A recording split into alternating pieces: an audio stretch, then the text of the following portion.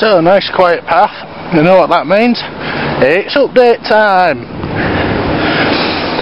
First off, obvious bit of news. I no longer have the Galaxy. I did mention this in an earlier video. Basically, uh, I've had to sell her because she's costing too much to keep running at the moment. Um, so someone bought her off me. The reason that the other update video was a little bit rushed, shall we say, was because I thought I had another two days with her, but uh, no, she was gone within 24 hours of me putting her up for sale, so hence no vocals on the last video. At the moment, I'm riding around on Beepbike 3, known as Jade, obviously because she's bright green.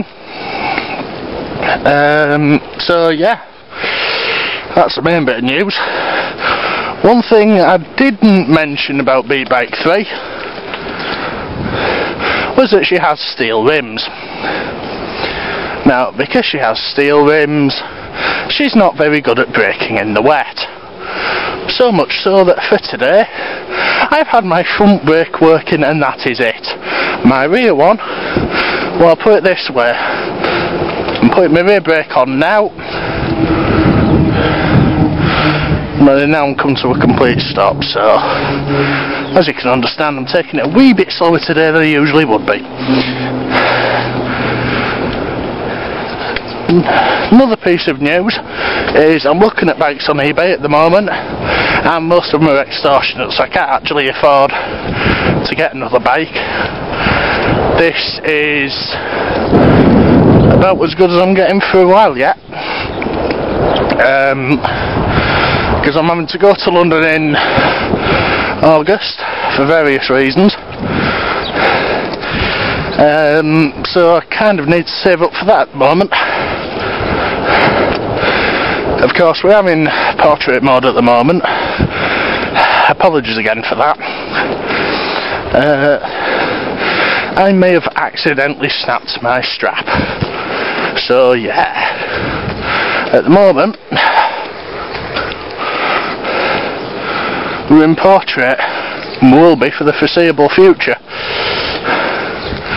So yeah, that's a little update from me. Oh, one more small thing. When I sold the uh, gentleman the bike, he said, oh yeah, drop by a bike, which is what he's been after. And the next thing I know, he's gone into where I work, and he's asked them to change it into a flat bar road bike.